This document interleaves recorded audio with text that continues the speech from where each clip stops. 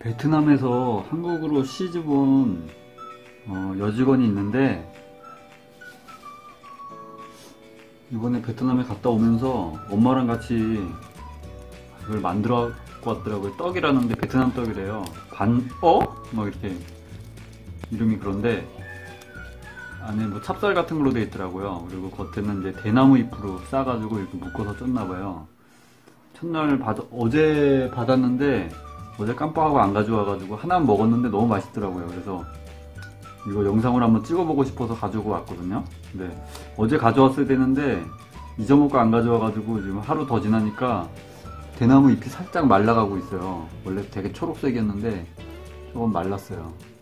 되게 맛있더라고요. 근데 이거를 지금 전자레인지에다가 돌려 먹을까 하다가 예전에도 백설기떡도 밥솥에 쪄 먹는 게 제일 맛있었고 쪄 먹는 게 그래서 그냥 밥 푸고 밥 위에다 올려놓는다고요.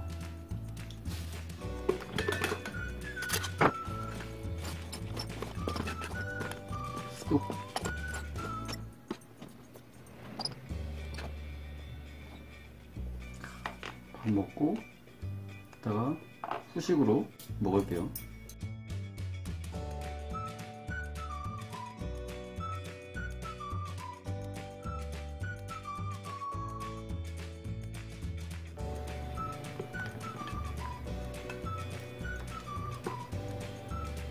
오, 쪄졌어.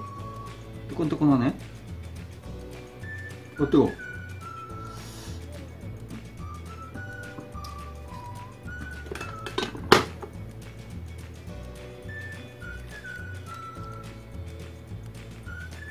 대나무 잎에다가 이렇게 싸서 묶었네요.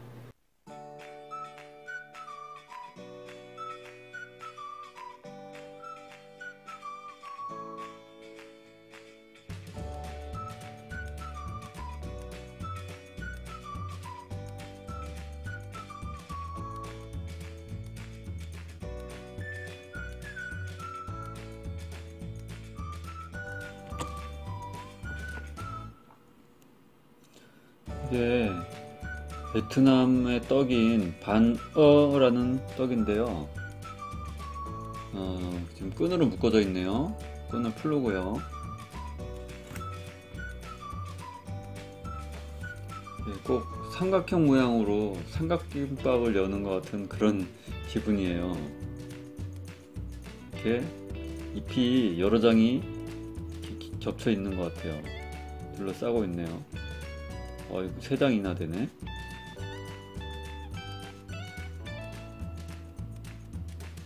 안에 조금 보이죠? 여기 조금 보이네요 벌써. 자.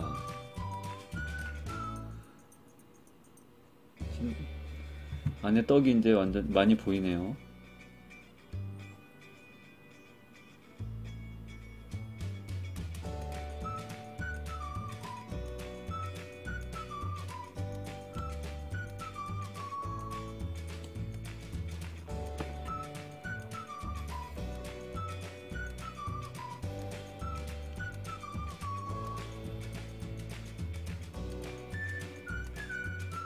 이게 첫날 바로 먹었어야 되는데 그냥 한 개만 먹고 어제 나머지 두 개는 이제 제가 이게 신기해서 맛도 있고 신기해서 영상을 찍고 싶어가지고 챙겨서 이제 냉장고에다가 밑에다가 이제 놔뒀는데 저녁 때 가져온다는 게 깜빡 잊어먹어가지고 하루 지나서 가져오는 바람에 이게 좀 좀 더 잘 안 떨어지는 것 같기도 하고요.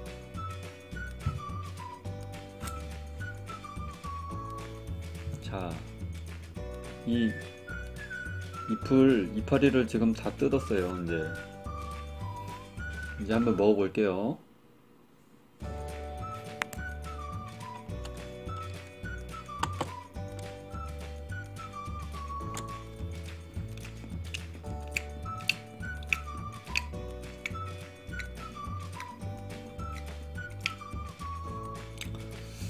이게 쫄깃쫄깃하고 아주 쫀득쫀득하네요. 그리고 되게 달콤하고요.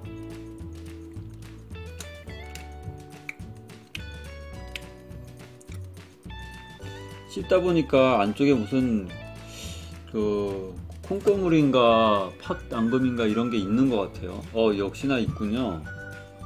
이 안쪽에 보면은 뭔가 들어 있어요. 우리나라 송편처럼 안에 뭐가 들어 있죠?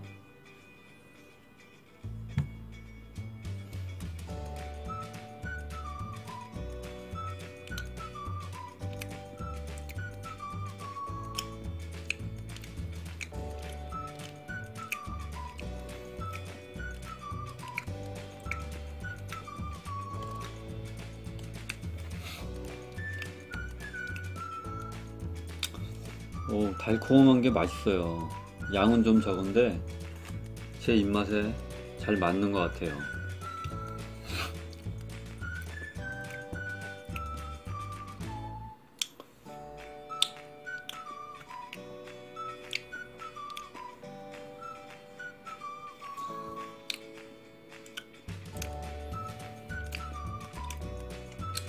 다 먹었습니다. 한 개는.